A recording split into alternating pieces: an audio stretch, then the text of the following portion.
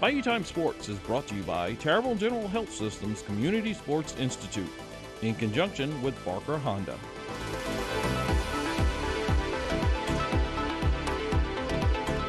Keith Weisheit here with HTV 10 uh, Bayou Time Sports. Really glad to bring to you some updates from the community. Always glad to find out what football's looking like this year. We were able to head down to South Lafourche and we welcome in Coach Brian Young, head football coach, South Lafourche Tarpons. Welcome to the program. Man, it's good to be here, man. I appreciate y'all coming out and uh, you know coming around the school and seeing what it's all about. Absolutely. Here in the weight room where a lot of the work gets done. Tell us a little bit about how the summer program went for you guys and uh, how they got you ready for the season this year. Yeah, you know, the summer for us was real big as far as strength and conditioning goes because we, we missed one last year and then, um, you know, and then no summer and then no spring football. So coming kind of from scratch with, with the season when you're kind of in your in-season workout regimen. So summer was big strength and conditioning wise and our kids really bought in and, you know, 110%. Uh, and, and that's a lot to do with the type, of kids that we have in our locker room. You know, um, you don't have to really fight with them too much to make them do what you want to do. You know, they want to do it themselves. And then uh, getting a chance to go do some seven on sevens with other schools. Uh, went to St. Charles Catholic and played uh, played some good teams. They do a good job down there. Um, Arch Manning and Newman, uh, Booker T, St. Charles Catholic, um, Lutcher, and John Curtis. So get to see some good competition and see how our kids rise to the challenge. Uh, because it's competitive out there. You know, they compete in everything they do. That's why, because that's a lot of winning programs. So uh, very proud of our kids in that. And went to Terrebonne with Coach Hill and uh, got to link up with them, Patterson, CCA, uh, South T one time. So it was good, man. Get to see a lot of different competition, a lot of different schemes, and um, you know, I like where we are right now as a football team.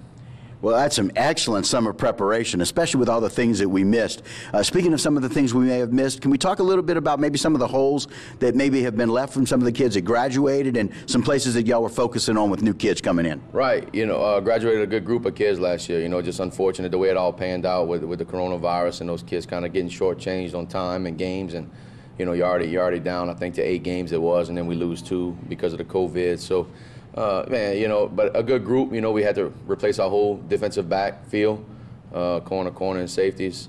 Um, which you got good kids who rose up to the challenge, and uh, you know we had some growth. You know, we played Hahnville in the spring game, and they kind of exposed some stuff because they got some good football players. So we got to see what we needed to work on uh, into the summer. So they um, made corrections, and, and, they've gotten better.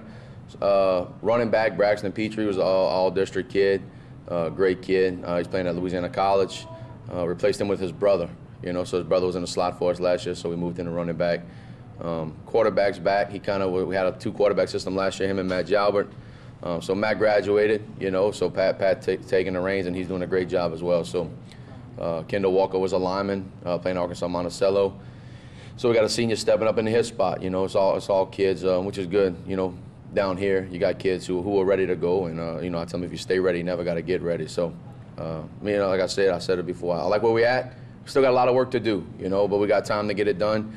But um, standing here in July, I like, I like where we're at right now.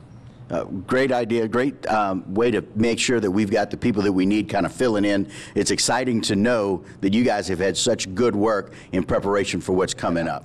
Coach, tell us a little bit about what maybe your um, the fans in the stands can expect from the South Lafourche Tarpons when you guys take the field first. Yeah, I, would say first and foremost is excitement. You know, our kids are uh, they busting at the seams to put the pads on and get to hit somebody in another color.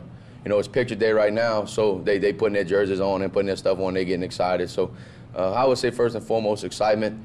And uh, like I tell them, you know, Friday nights are for them, so a lot of fun. You know, they go out there in front, uh, have a lot of fun. We're not going to yell at them or scream at them. We're just going to coach them. You know, the, uh, Monday through Thursdays for the coaches. You know, we get on them and get them get them right, but after that, the coaching should be done. The Hayes and the Born, and we, we let them go play and have fun. So I would say a lot of excitement, a lot of fun, and uh, you know, competing. You know, uh, there, there's there's only one way to do it. You know, we really don't give them a choice. You got to compete, and um, and and they do, man. So they do a great job of that. So that'd be the three things I would say.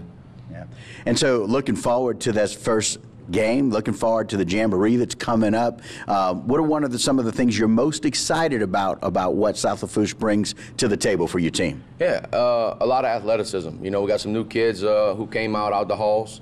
Uh, that play other sports who um, decided that you know they want to give football a try and, and they've done great.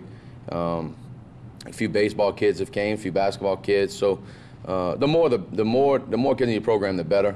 Um, and then we have kids who were here last year who uh, who have done everything they need to do. From you know they might not have got the playing time they wanted last year, but they're ready to go now. So just a mixture of, of, both. You know, I say a lot of athleticism, and then um, I think we're bigger than what we were last year um, on both sides of the ball. So, so that's that's good too because if you can- you can do all the pretty stuff you want, throwing the ball and running different coverages, and but if you don't have them big boys up front to, to get it done in the trenches, you, you won't win many games. So uh, our big boys are doing a great job too, and I think we're a little big and a little more physical.